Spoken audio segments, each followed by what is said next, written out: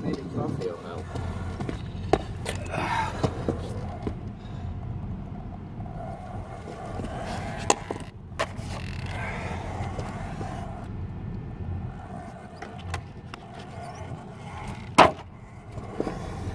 It.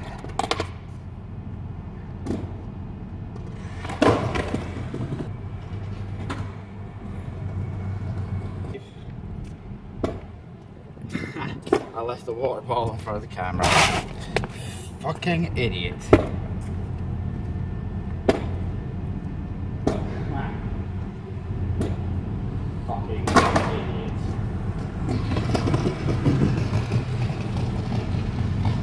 Okay. We're gonna redo this and it's gonna be better than the last one. Skateboard training.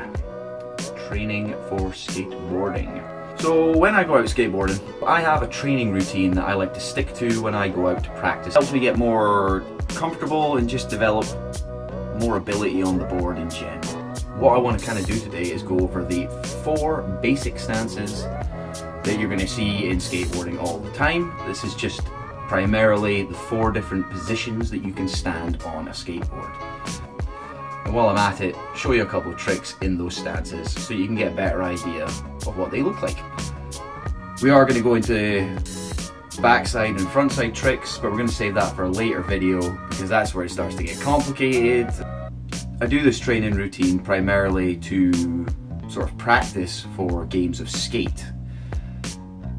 Because at some point, I want to win a game of skate. First stance you're going to learn to do any tricks in skateboarding is going to be your natural stance.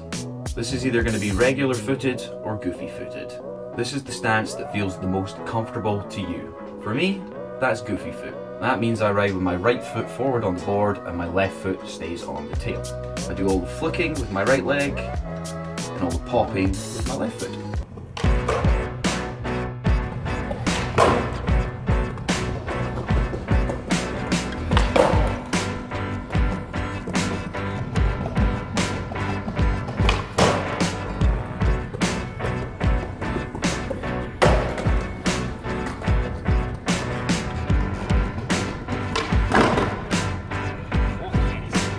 Second stance that we're going to look at is the fakie stance. This is when you stand in your natural stance, but you travel in the reverse direction.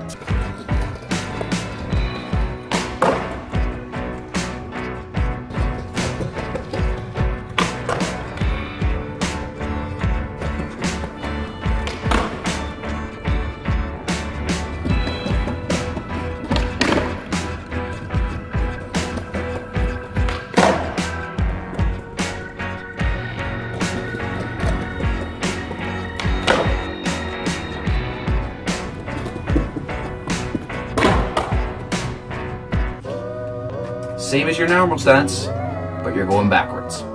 Then we have the nollie stance. This is short for a nose ollie. This is when you ride in the same direction as your normal comfortable stance, but all of the tricks that you perform are popped from the nose of the board. And all the flicking and tricks and things that you do with the board are going to be done with your non-dominant leg.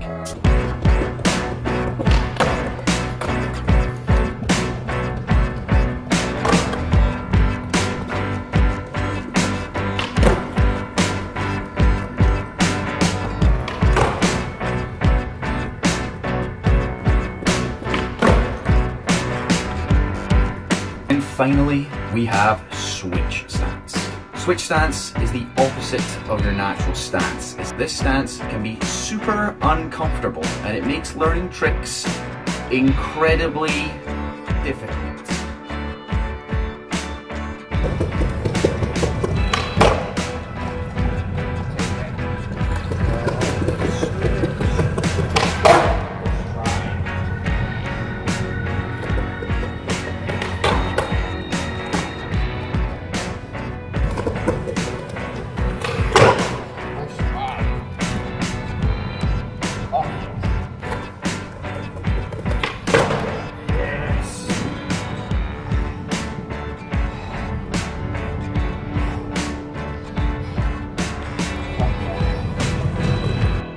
That switch, frontside pop shove it, took me ages.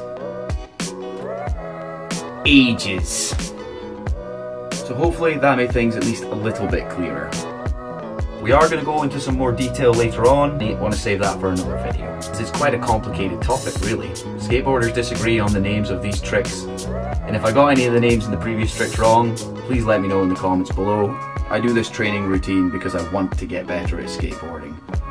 Let me know what you guys do for your own training. Do you have a training schedule? Is there something that you guys specifically like to do when you go out to practice skateboarding? Let me know, because I might use it. I need all the help I can get. I'll see you in the next one.